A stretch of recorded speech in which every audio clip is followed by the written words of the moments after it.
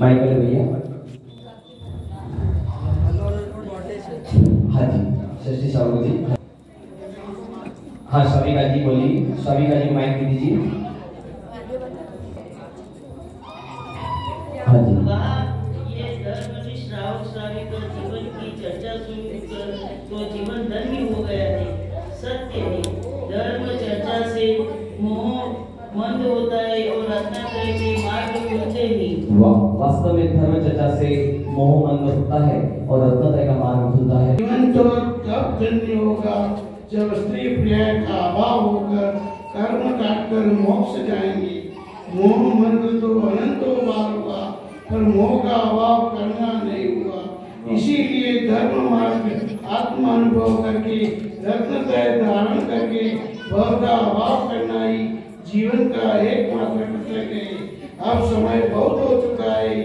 चलो, निज परमात्मा के स्मरण पूर्वक चैतन्य में विश्राम किया जाए। चर्चा में भी थकावट है। आनंद तो चैतन्य के विश्राम में। बोलो जैन शासन की। वास्तव में बाहर के तो कह रहे कि चर्चा में भी तत्व चर्चा हो तो उसमें भी थकावट है। अन्य शुभ भाव में तो थकावट है ही। यात्रा करने जावे अन्य कार्य पूजन करे तो आपको दो घंटे, पाँच घंटे बिठाओ तो क्या बैठ सकते हो? नहीं, थकावट तत्व चर्चा में थकावट होती है तो बारिश भाव शुभ भाव में थकावट कितनी होगी? इसलिए अशुभ भाव को तो छोड़ना ही।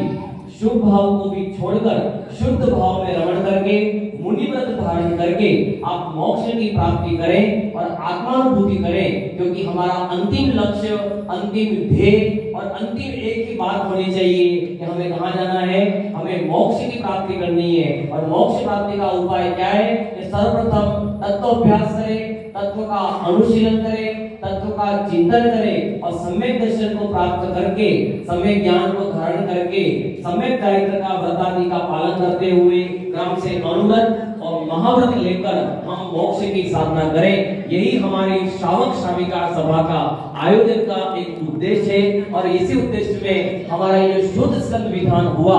उसका भी यही उद्देश्य है कि सभी जीव तत्वों का अभ्यास करके सच्चे देव शास्त्र गुरु को पहचान कर मोक्ष मार्ग में आरूढ़ होवे, इसी मंगल भावना से आज की सभा का हम यहाँ पर विराम लेते हैं। केवल जैन धर्म की, जैन शासन की एक अंतिम नृत्य हो जाएगा, महिलाएँ इस साइड नृत्य करेंगे, पुरुष इस साइड नृत्य करेंगे।